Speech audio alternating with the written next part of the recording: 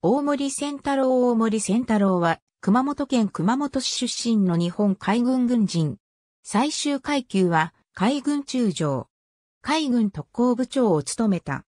1892年10月3日、熊本で大森太郎基地の息子として生まれる。熊本中学校卒業。1913年12月、海軍兵学校41期を16番の成績で卒業。在学中に貧困全領賞を授与された。1914年12月、海軍少尉任官。1919年12月、大尉に昇進。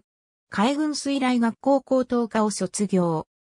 その後、第15艇隊艇長、足口区艦長、道の区分隊長、野風水雷長、響区地区艦長、春名分隊長を歴任、1925年12月少佐に昇進、水雷学校教官に着任する。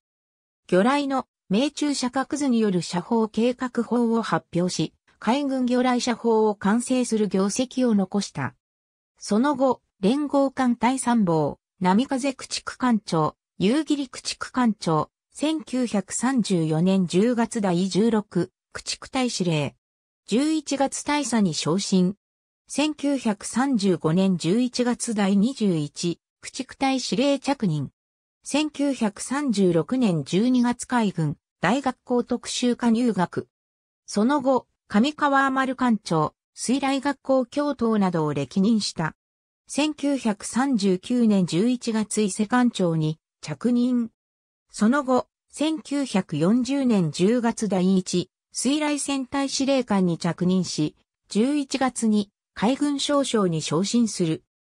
1941年12月開戦した太平洋戦争第一、水雷戦隊司令官として、南雲忠和中将の指揮する空母機動部隊に参加し、真珠湾攻撃、正論等沖海戦に参加する。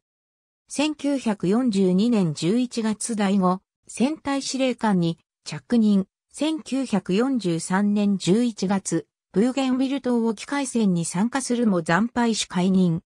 同月に水雷学校校長に着任。1944年5月、中将に昇進した。マリアナ法規決定後の1944年6月25日元帥会議で特攻が示唆され、島田重太郎軍令部総長兼会長は、奇襲兵規則審判を設け実行委員長を定めるように指示した。それによって7月1日大森の海軍特攻部長任命が発令された。軍令部出資及び管制本部出資を兼務。水中水上特攻を重視しての人選であった。大森は全権を自分に委ね、どの部署も自分の指示を聞くようにするという条件で引き受けた。中沢優軍令部第一部長によれば、特攻のイニシアティブを握っていたのは、大森と軍令部二部長、黒島亀と少将であったという。都市号作戦に合わせて、信用隊の編成を急がれ、特攻兵器信用の特攻隊員を育成する。大森の話によれば、心配だったのは、信用搭乗員の志願者が集まるかだったが、思ったより多かったため安心したという。1945年8月20日第7、艦隊司令長官に着任する。同年10月、予備役に編入された。1974年12月24日に死去した。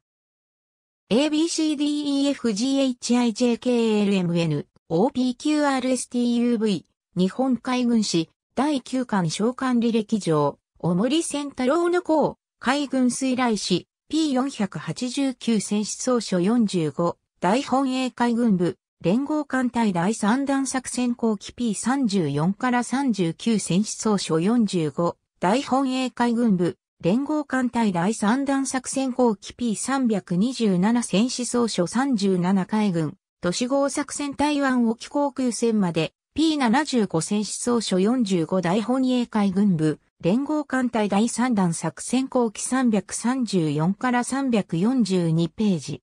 ありがとうございます。